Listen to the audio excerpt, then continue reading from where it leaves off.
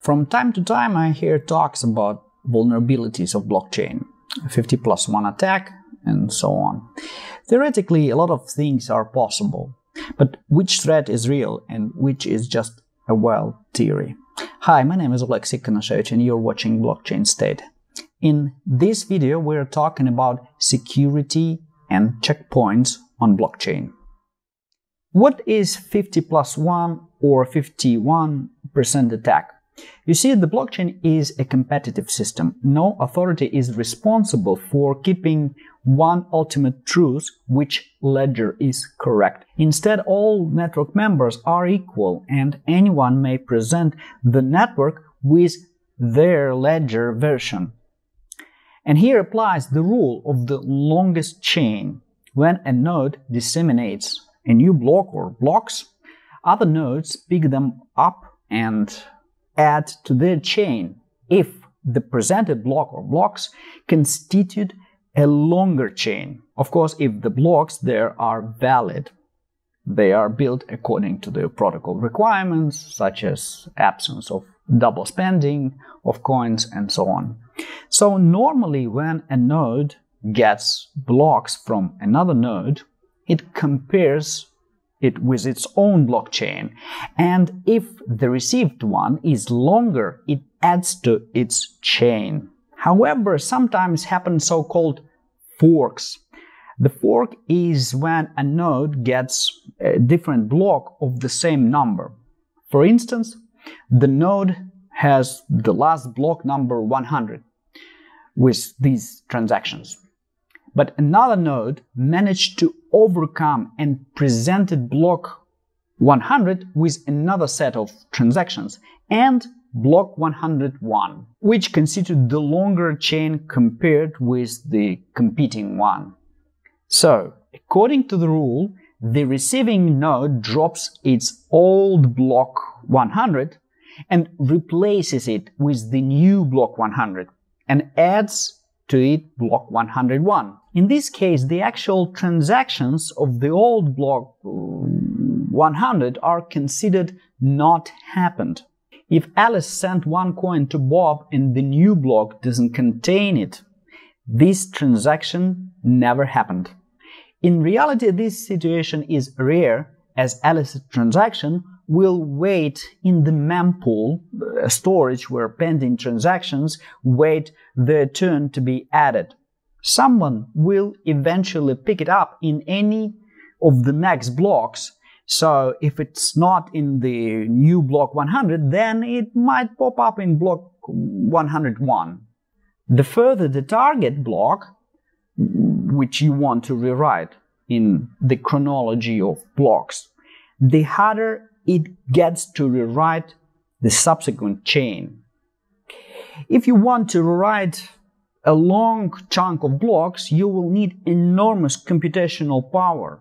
Realistically, something like that can happen if someone, presumably uh, a coalition of nodes, get 50 plus 1 of computing power of all the network. Nevertheless, it doesn't mean they can now rewrite the ledger from any block in the past, as rewriting still requires computations, spending a lot of time, on average 10 minutes per block, and burning much electricity. Keep in mind that the other 49% will not sit on their hands, they will keep mining, developing their chain of blocks, trying to make it longer. So the conspired group, while redesigning history, will still need to catch up and overcome the upcoming blocks of the rival members. So in large mature blockchains, this attack is more like um, a theory that you can speculate about. To get your head more around, you can look through this website, crypto51.app. It shows the cost of 51 attacks. For example, in Bitcoin, it will cost you around 1.7 million US dollars per hour. How deep can you rewrite during one hour? Right, the depth of 6 blocks. 60 minutes divided by 10 minutes, it's 6 blocks. But remember that the others will keep mining as well. So during that hour, they will produce another six blocks. You just have a chance to get it done slightly quicker, having the advantage in 1% toward the rest of the network resources. Of course, you can try to attract more resources, but remember, it will cost you more. And realistically, where the hell will you get these resources? ASICs, specialized computers for mining, are not collecting dust on a shelf. They all are in mining race earning money every minute. The attacker will need to offer them something really attractive. Newly produced mining rigs are normally bought through pre-orders even before being produced. So, as you see, the concept of blockchain vulnerability sounds like a threatening thing, but the reality is too complicated for this to come true. Besides, you also must answer the question, why do you want to do this? Misappropriate some funds? But remember, the price of Bitcoin is based on the trust and belief of its stability. So, if you have enough power to disrupt it, and you do this, you will end up having funny money that is worth nothing as no one trusts it anymore. The practice shows that the realistic depth for rewriting is 6 blocks, and forks, as a matter of fact, due to the competitive nature of the technology happen all the time, usually not deeper than 2 blocks, but never deeper than 6 blocks.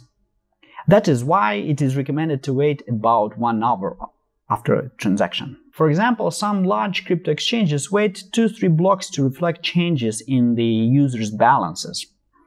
Finally, you can think about this problem from another perspective. If 51% decided to collide with the rest, what is it if not a legitimate will of the majority? This rule is the very basis of the technology. You accept it when you started using it. And finally, let's talk about checkpoints as I promised in the beginning. So, checkpoints are imposed by the community of wallet developers for some protection. You see, we now have quite a long chain of blocks in Bitcoin, and it has never been forked dramatically. So, even though the theory says anyone can present the longer chain, we still understand that the current chain is very stable. Deep changes are unrealistic through a normal course of events such as fair competition. We still understand that some terrible things can happen, even globally. But we know all the blocks and their hashes. So if one day we wake up and realize that some forces managed to tamper with a long chunk of blocks, we have the hashes of the original chain. They can play the role of the checkpoints against which we can check the originality and not to accept the drop of the original chain of blocks. These checkpoints exist in Bitcoin. So when you install your Bitcoin wallet, even if you haven't downloaded the blocks yet, your wallet have these checkpoints hard-coded.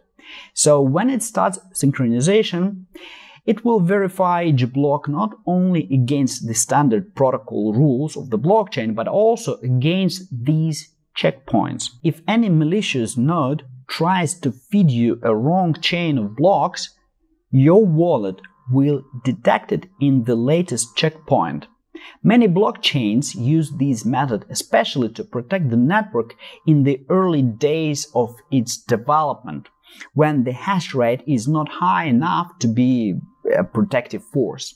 To be clear, Bitcoin doesn't practice putting new checkpoints anymore as it also can be a source of risk because it gives a bunch of code developers some extra authority. But as a temporary measure to reach maturity, it can work well. For example, I figured out that Bitcoin contains a list of 13 checkpoints in the ledger. And the last one was at block 29530 in April 2014. In one of the Stack Exchange discussion, I figured that these checkpoints were chosen for a relatively low hash rate, so the attacker could theoretically start rewriting from these points. Because it was so long ago, nowadays it has become irrelevant. And so far, Bitcoin is the most stable and secure blockchain that since 2008 till this day has never experienced major disruptions that could undermine our trust in the technology. I hope now I have addressed doubts and explained why blockchain is the most secure data storage that humankind has ever seen. Cryptocurrency not only does not have its intrinsic value, as some say, but on the contrary, its value enormous. You can watch this video to know more about it, but meanwhile, that's it. See you in the next video. Don't forget to hit like, subscribe and share this video. In this way you support the development of this channel. Thank you.